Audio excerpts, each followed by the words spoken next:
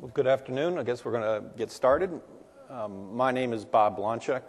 I'm the president and CTO of Razoron Mobile. We're in Baltimore, Maryland area. And uh, we've been doing a lot of work around payments and health information exchange in healthcare. Um, and so my talk today is going to talk, deal with how do you use the PayPal APIs to facilitate payment at the point of care and how you can combine that with health information exchange for patients um, and make that a seamless experience. So, just a little bit about Razoron Mobile. We, have created a, a, technology we call the RAS code, which is an intelligent two dimensional barcode, as shown here on, on the screen. And in this version of it, it's, it's, we use a, a Microsoft tag, which is similar to uh, QR codes and some of the other ones that you see um, just about everywhere, including here at the conference. And they're becoming ubiquitous. Um, they're available, you see them in magazines and stores. Um, and to date, they've been pretty much used in advertising and content applications where you take a picture of it and then some contact, content is loaded onto your uh, mobile phone so you can look at it and get more information about something you're interested in. What we've done, we've, we've embedded a lot of intelligence into these tags and an entire web services architecture behind it to enable a lot of interesting applications in mobile health, mobile payments, and mobile authentication. So, my agenda today is to talk a little bit about the drivers of what I'm calling consumer centered or connected health and the payment opportunity that derives from that. Um, give a little parallel to how the healthcare industry can learn a lot from financial services and the payment card industry. And then I'll actually show you how this works. I'll give you a demonstration of how the, the tags work and how data and, and money can move. Um, and, and then I'll come back and go into some of the details behind how it works behind the scenes. Um, and then talk about how we're taking it, this concept from healthcare into general commerce with a product we're calling PayPix that's being launched uh, this quarter. So, consumer centered health. We've all heard a lot about healthcare um, in the last year. Um, we have a lot of mandates uh, from the government, things called the meaningful use, and, and HITECH are incentives for doctors to adopt electronic medical records. There's incentives, and then there, there's carrots and there's sticks. So they're being incented where they can actually earn up to $40,000 if they adopt an electronic medical record and meaningfully use it. Um, and if they don't choose to use one, then several years down the road, there will be penalties for not using them. So uh, there's a, a, move towards um, electronic medical records in a big way. Um, there's things like the 30 day readmittance penalties. So if you go to the hospital and get treatment and you're discharged, if within the next 30 days you go back into the hospital um, for the same condition, uh, the cost is on the hospital's dime, not yours. So the, the, hospitals are really incented to engage you in your own care and make sure you don't get readmitted, readmitted. And then obviously all the healthcare reforms. There's also changing expectations from the consumer's perspective. Um, consumers look to online solutions as an integral part of their total health care. Um, wellness and fitness are huge, obviously. And then, of course, the economics of this, the accelerating healthcare costs that we've heard over and over again. Um, chronic disease management is probably the biggest source of cost in our healthcare system. And a, an untold secret and, and, very dangerous situation is the growing shortage of doctors, and in particular, the primary care situation, which is deteriorating very rapidly. So, consumer centered health is becoming um, a mandate, it's not an option anymore. So, what results from that is a very large payment opportunity. Um, estimates that there'll be $400 billion of direct out of pocket payments by consumers to practitioners in 2015. So this is outside of insurance, um, Medicare, Medicaid, private insurance, whatever, um, which is in the trillions of dollars. But there's, there's $400 billion that goes directly from the patient or consumer, consumer's wallet to the physician or practitioner. And this is driven by the rise in um, consumer directed health vehicles such as HSAs. Um, um, employers are demanding that employees share a larger portion of the costs. Chronic disease management, as I mentioned, and then the health, wellness, fitness, discretionary expenses all contribute to this as well. So, as we started looking at this problem of, of how do you get information in the hands of consumers and how do you deal with this payment, um, we, we, looked at it from the e commerce perspective. Uh, my company is not a healthcare IT company. We actually come from e commerce and finance. And when you look at the problem from the payment card industry perspective, there's a lot to learn. So, um, we've all seen many of the in, uh, statistics here over the last couple days. This is Visa. Visa is going to process 50 billion credit card transactions this year alone. Every one of those will find us, and often to our dismay, they find us very quickly. So I can, I can swipe a credit card here in San Francisco, go home to Maryland tomorrow and see that transaction online, download it, do whatever I want um, with it.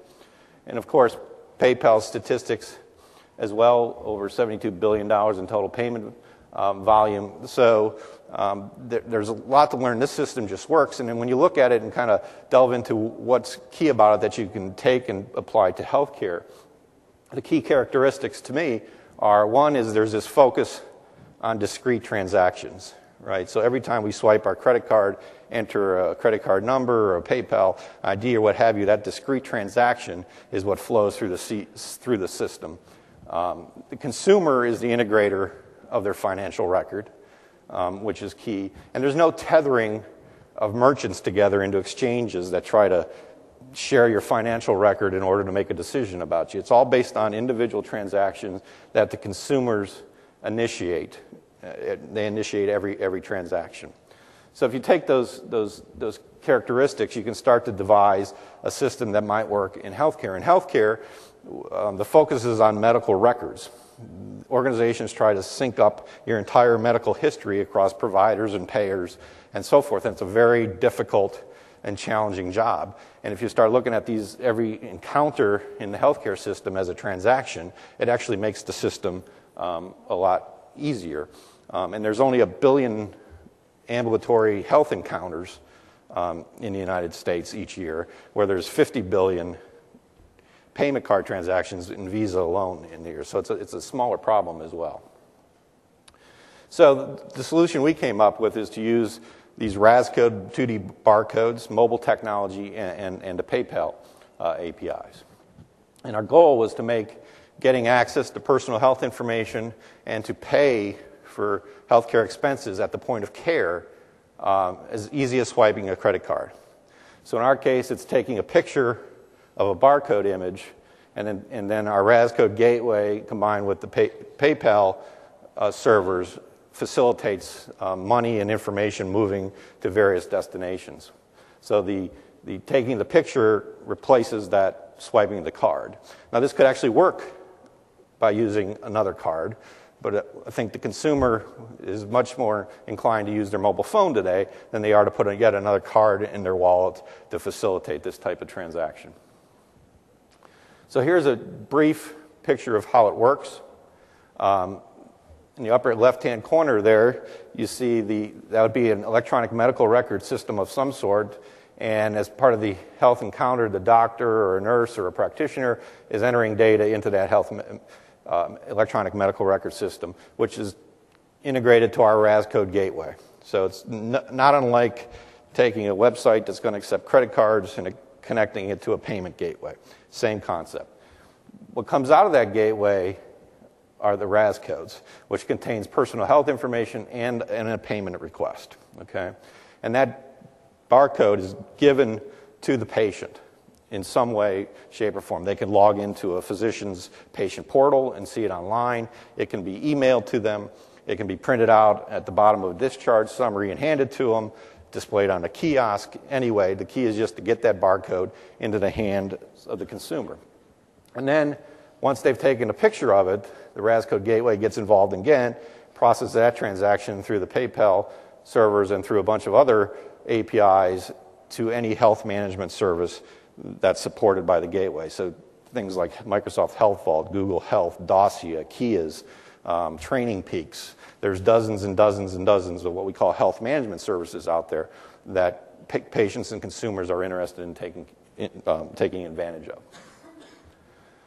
So I'm going to switch gears here a little bit now and, and do a, a demonstration of, of how this works.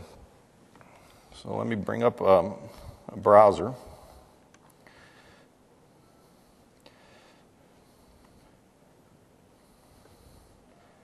Actually, let me go back here real quick. I want to set this up for you a little bit.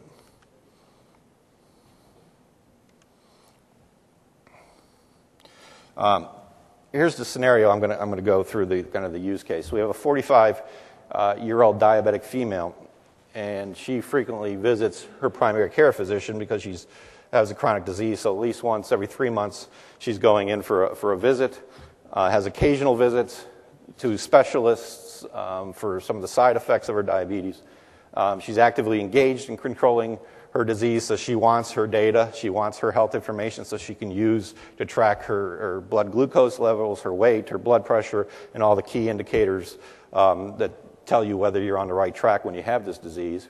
And the provider wants to track patient progress outside of office visits.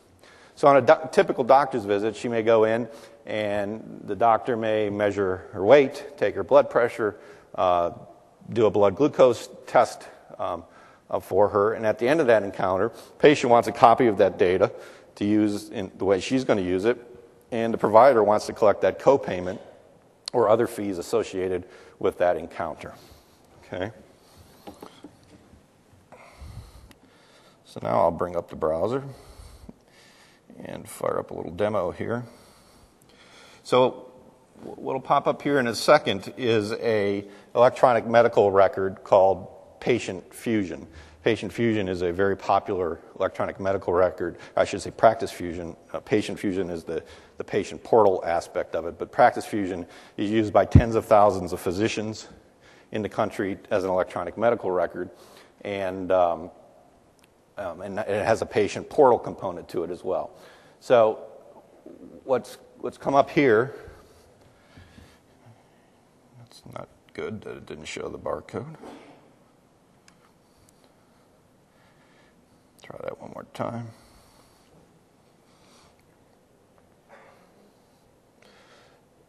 So in this case, the, the patient has visited a doctor and has left the office or, or is at the office and logs into the, uh, the uh, patient portal and wants to take advantage of that barcode that should be displayed right there. And unfortunately, the, uh, the Microsoft Tag server is not returning the barcode right at the moment. Um, let me try this one more time.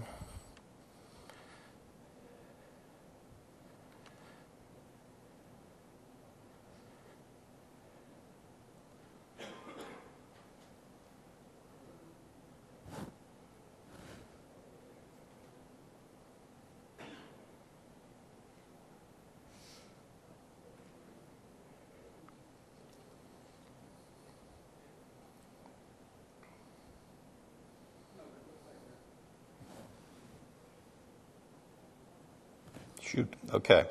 Um, so what should happen here is there should be a barcode that, like I showed you before, on the bottom, uh, showing on that on that page, um, but it's not showing right at the moment. And usually within a few seconds or so, it'll reset itself and actually start generating them again. But what I'll do is I'll kind of walk through how this works with some pictures. Um, so let me go back to my diagram or my presentation, I should say. So here's what, what it would look like. So the um, patient takes a picture of that barcode, and then in this case it's a Blackberry.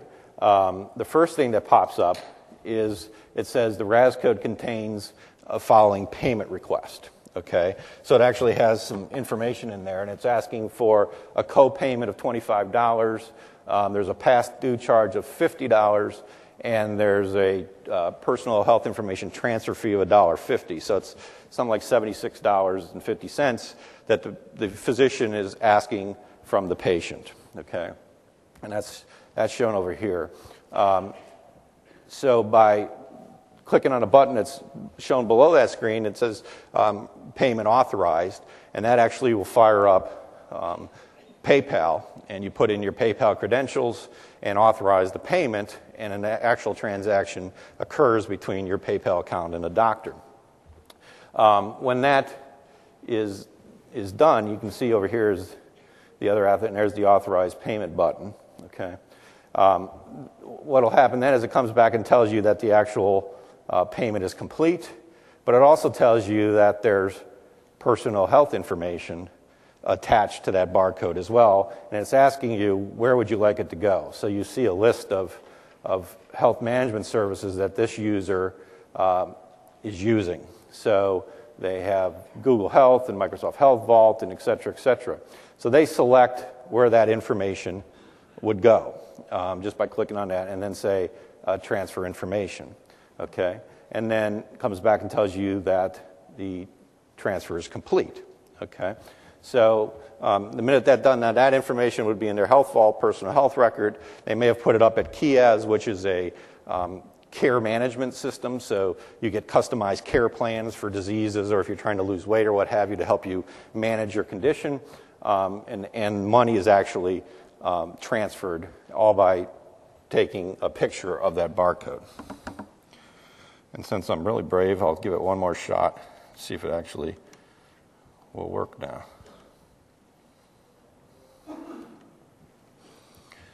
There we go.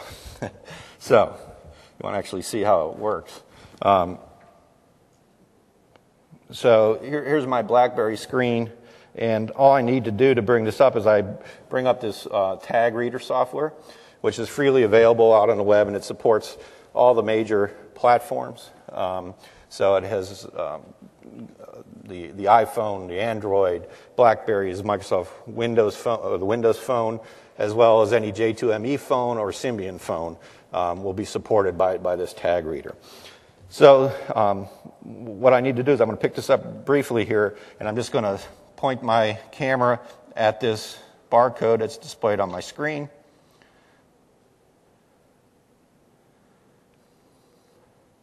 And I'm going to take a picture of it.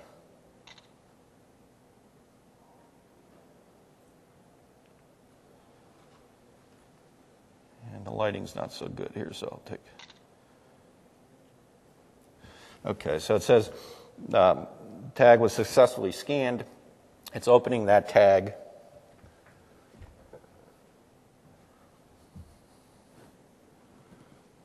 And processing it.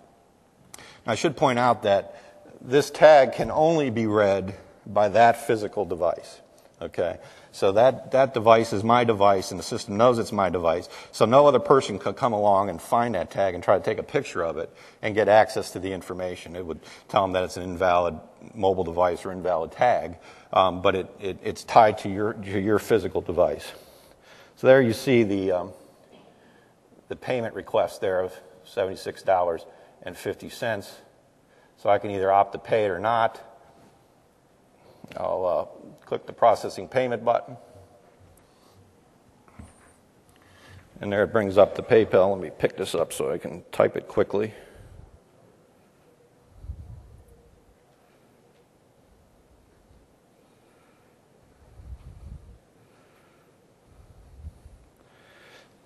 So I've logged in um, to my PayPal account. Um, ask me to authorize it. So I'll say pay now.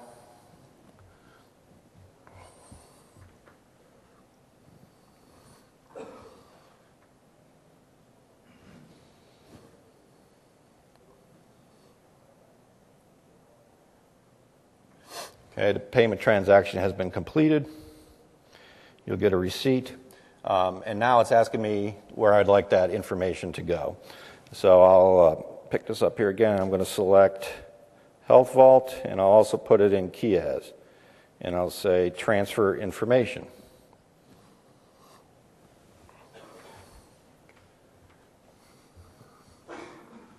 Okay, so both of those transactions have been completed. So now if I go over to my Health Vault uh, record, and I'll refresh this. You see there's some, some data there um, already. So there, oops, sorry about that. I guess I've got to go back to the screen here. So um, there's the weight measured, blood glucose measurement, and the blood pressure measurement um, transferred to, to my health vault record. I can also go over to my Keas account and um, need to log back in here. And there's that same data that's in my Keas account. Okay? And in the same way, I should be able to go over to my PayPal account or the provider's uh, PayPal account and actually see that, that money has, has flown. So let me put my password in here.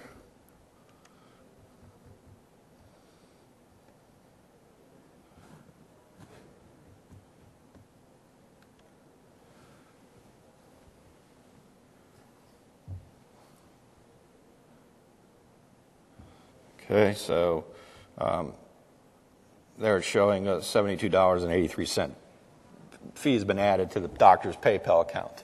Okay, so that gives you a sense of, of how, how it works in, in, a, in a daily operation just by taking a picture of that. Data can move in a bunch of ways and money can flow in a bunch of ways as well. Um, so let me jump back here now.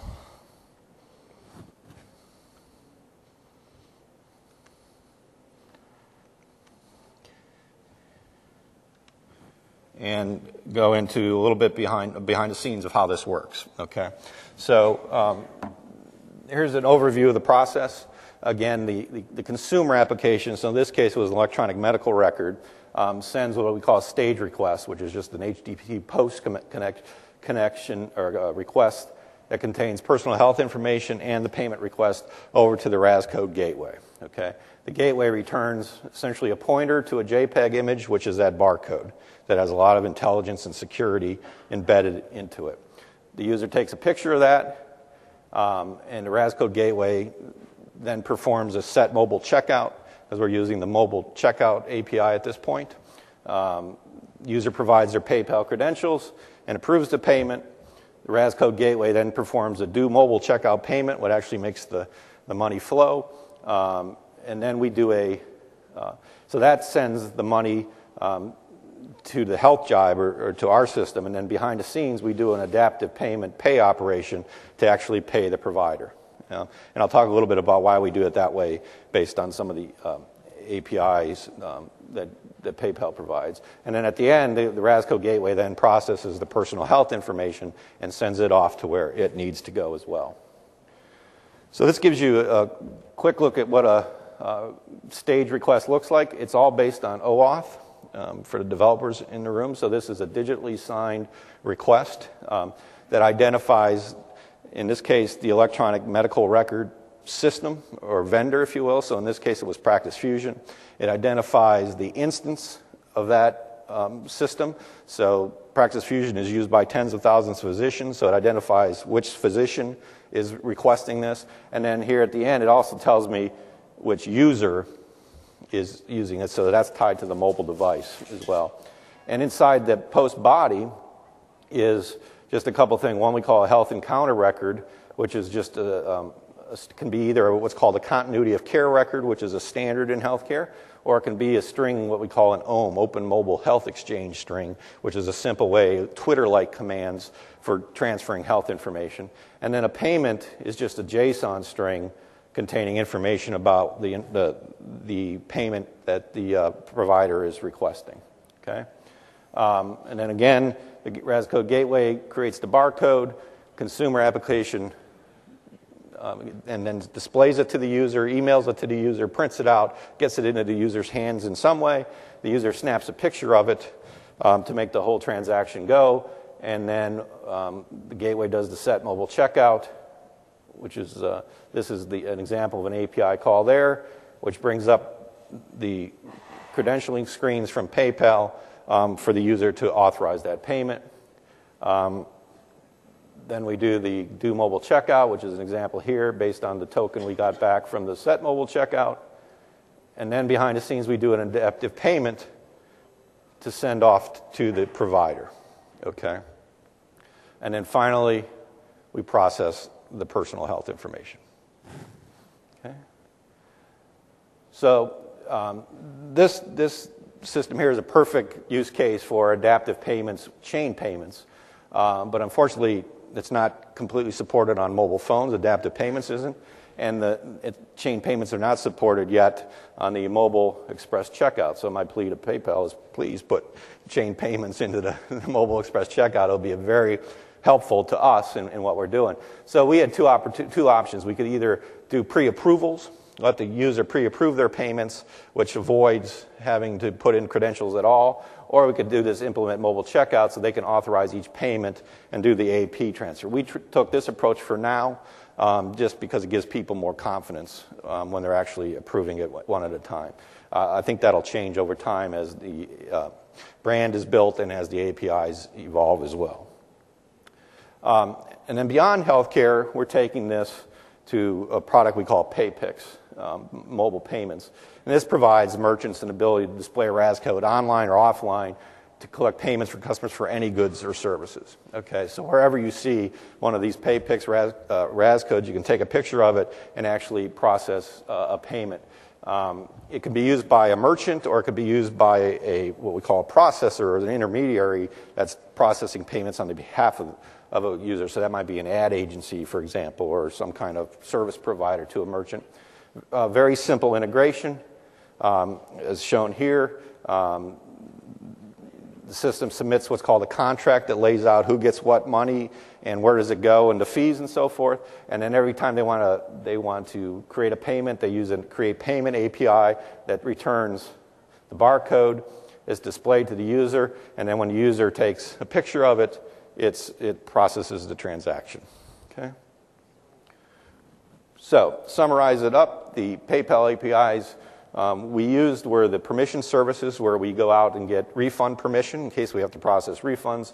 We use PayPal mobile checkout to process the payments on the mobile device, and we use adaptive payments in the background to move money to, to providers. Um, and again, I think the Mobile Express Checkout API will, will change some of this. So again, RAS code is a, is a two intelligent two-dimensional barcode that turns that simple act of taking pictures into a powerful tool for mobile health and mobile payments and, and mobile authentication because we, we actually use these codes in things like online banking to authenticate a transaction just by taking a picture. So it turns your smartphone into an authentication device because we can tie it to the device.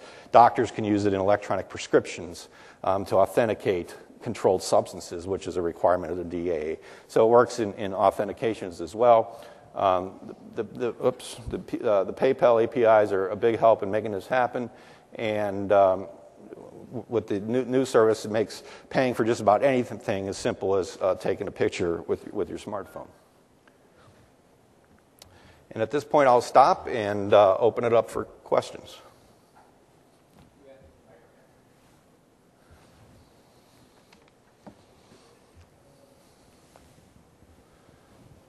I just had two questions. One is the, the RAS code, does it actually contain the information or does it just contain a link to uh, online resources that, that contains the information? Right. It, it contains no real information. Okay, and then the other question was I, I see the use case for the offline to the online world, but if you're already on a website, I, where is the added value in taking a picture and then going through another workflow where you could just pay on the website? Um, you don't have to provide your uh, credit card number at all. So you're not, you don't have to provide PayPal credentials, you don't have to provide a credit card number, and you don't have to provide your mobile phone number at all. You're completely anonymous.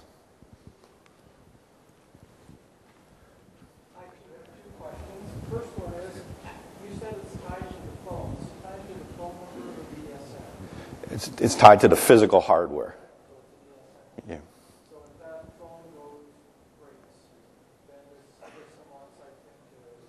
Right, you can reauthorize a new. Question was if they uh, lose their phone or it breaks or they replace their phone, there's a, there's a process to what we call proofing, um, which says take a picture of a barcode to actually s- set up that connection.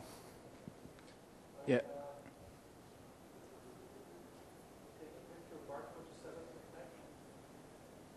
I'm sorry? Yes. Um, the, the device, device software does that.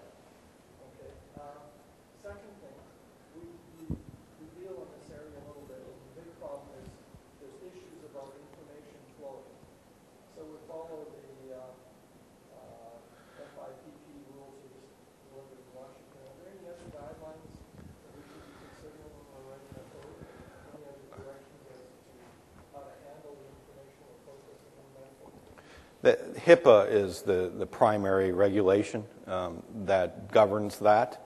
Um, in, in our system, what we, we work with partners to say is don't provide any personal identifying information into healthcare information that flows. So there doesn't need to be your name, your address, your email address, nothing. So it may be a prescription. It may say 10 milligram Percocet. That's all we need. I don't need to know it's for Joe Smith or anything. So it, it can be completely sanitized as it's moving through our system. Okay? That's the best way of protecting the data. Then when it ends up wherever it's going to end up, uh, we delete it. Okay, so we don't store the data, we don't maintain the data uh, for the people. And to use our service, the only information we require is a email address, which is your username, and a password. We don't know your name, we don't know your phone number, we don't know your address, we don't know anything about you. Right. Uh, I wanted to uh, ask, could you talk a little bit more about how you authenticate using that barcode? Uh, why is it? why is the hard the hardware tied to the authentication? I didn't quite understand that. Okay, so the when you take a picture of that barcode, um, well, what we wanted to do was we wanted to say that only a specific device could take a picture of that barcode.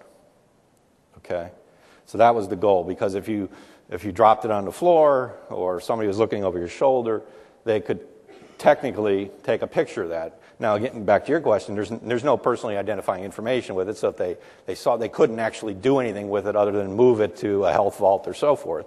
But it's another layer of protection.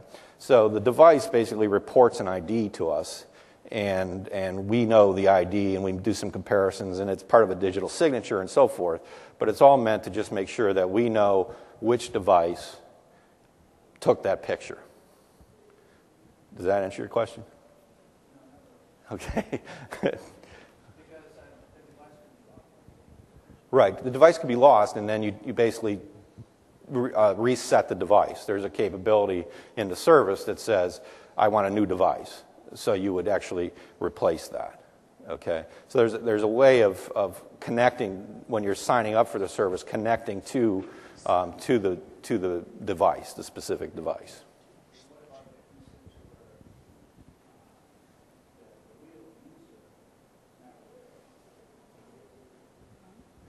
I mean, if their credentials are compromised or, or some such thing.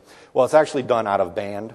Um, um, there, there's different ways of doing that. You can um, email them the actual barcode that proves it. In the banking world, we actually do they actually do it in, um, in person. So the, the most, the most um, secure way is it's done in person that first time when they take a picture.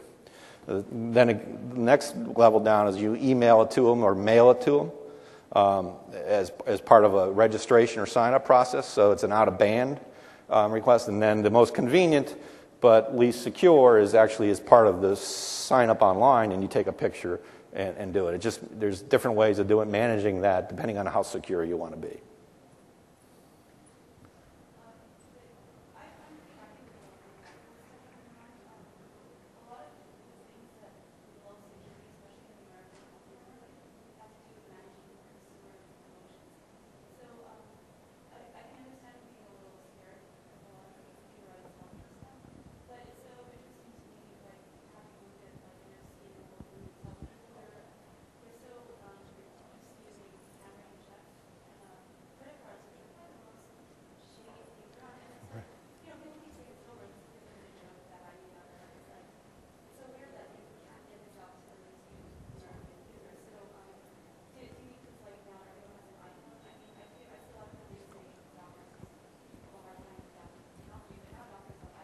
Right. Right.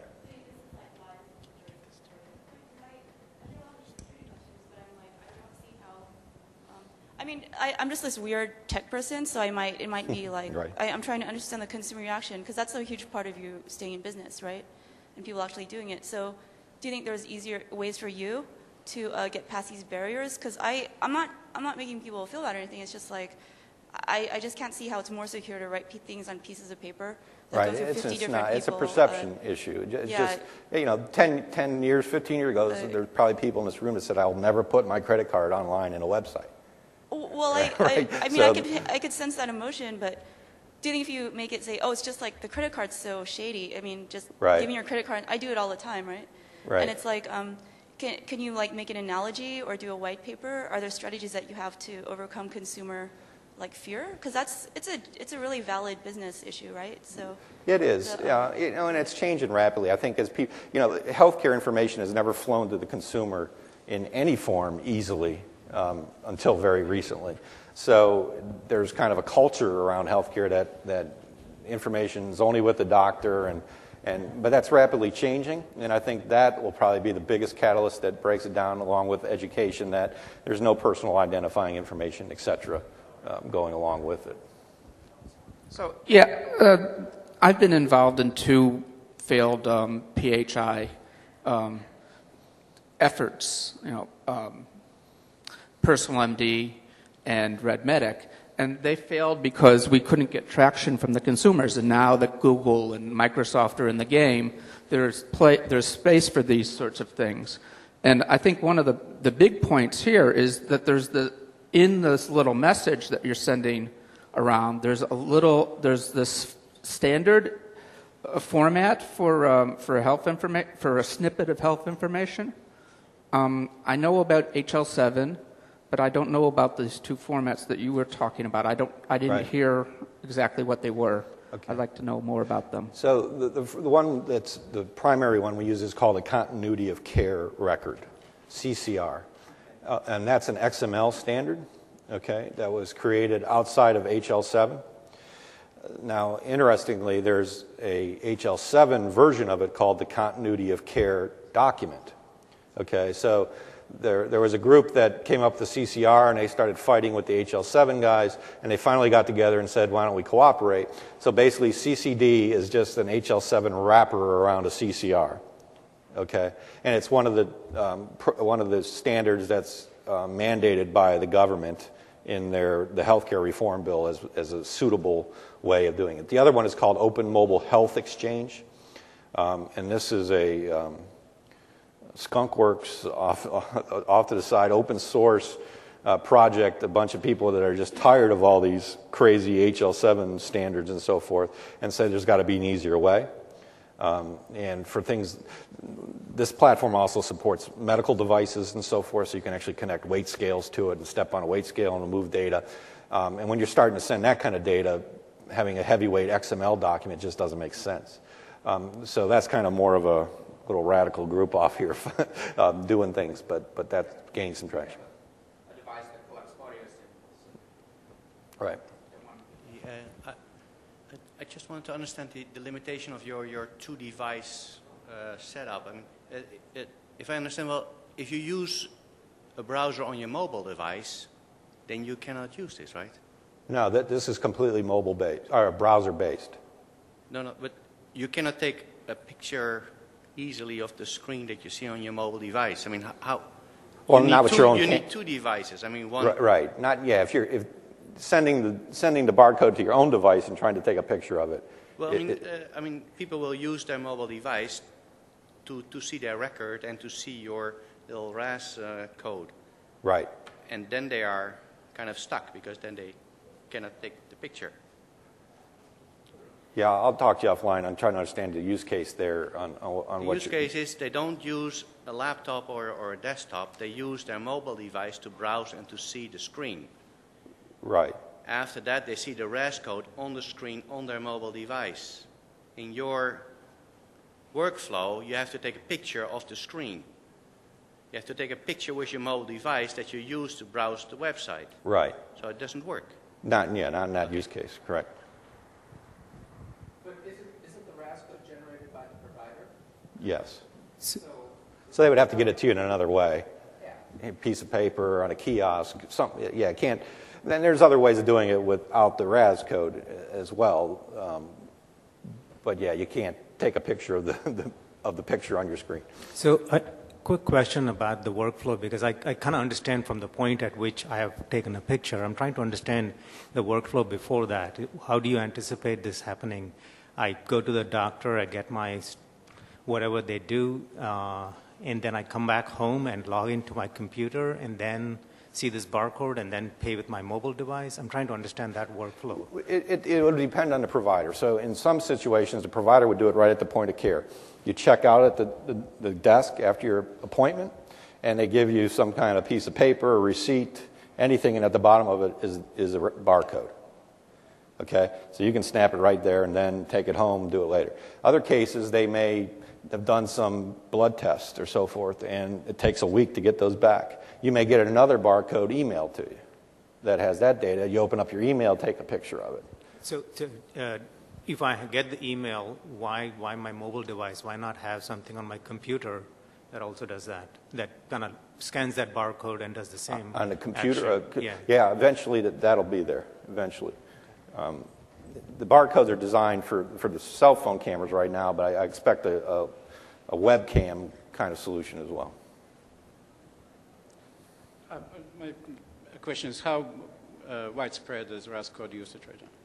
It's, many it's, users do you have? it's in its infancy. It's- Infancy. yeah. Why didn't you pick another barcode tag? We, we chose the, the Microsoft Tag because it's very fast in scanning them. Um, the read rate is very high. Um, there's um, localization or location capabilities associated with it, and there's some um, characteristics of the tag reader that are important as, as well. Yeah, I guess I'm, I'm, I'm this is kind of, I guess, along some of these other questions about usability, but I mean, we have a baby boomer population that's going to be a quarter of the United States within by 2020, and I'm just wondering. I, I know a lot of them don't even have computers or a smartphone, or, or probably don't intend to get one, or it could be a very long time to adapt it to even understand this concept to see the, the benefit. So, I mean, I think this is great for like people my age or whatnot, but it just seems like we're the growth market for healthcare, it's going to be more and more older people. So I guess I'm just trying to see how you're going to account for that. Well, I think, um, yeah, the, the, the peop our parents and grandparents today aren't going to use this themselves, but their kids or grandkids that are caregivers uh, very might, might. Okay, so I don't think, yeah, the target is not my mom or dad or, or, or they're not going to use this. Now, for people that don't have a smartphone, I didn't show it here, but there's actually a um, character string that can come with it as well, an eight character string that you can actually go to a browser and type it in. Um, so you don't have to use a camera. So there, there's other ways of doing it uh, to, to get around that. But um, the, the old people tomorrow are all of us. So the trends are mobile. Um, so yeah, we're definitely not targeting the elderly. It can be more the caregivers um, that are likely to use it. I think one more question and we'll be done.